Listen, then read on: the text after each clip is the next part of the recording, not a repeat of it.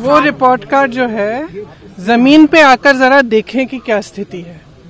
ये report card प्रचार, ये बहुत ये लगता बहुत अच्छा है, लेकिन ज़मीन पे कुछ नहीं है। मैं रोज लोगों से मिल रही हूँ, रोज मुझे यही पता चल रहा है कि चाहे किसान हो, नौजवान हो स्टूडेंट हो, शिक्षा मित्र हो, आंगनवाड़ी, आशा बहु सब प्रताड़ित हैं।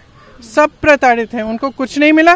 कहीं कहीं ऐलान हुआ है कि सत्रह हज़ार की आपका का आपको वेतन मिलेगा और आज तक नहीं मिला है। दो सालों से आठ हज़ार पे चल रहे हैं। तो किसानों को साठ तो, तो जो प्रचार करते हैं और जो होता है उसमें बहुत फ़र्क है। और जहाँ तक इनकी ये सत्तर साल वाली रट है इस रट की, की भी एक्सपायरी डेट है।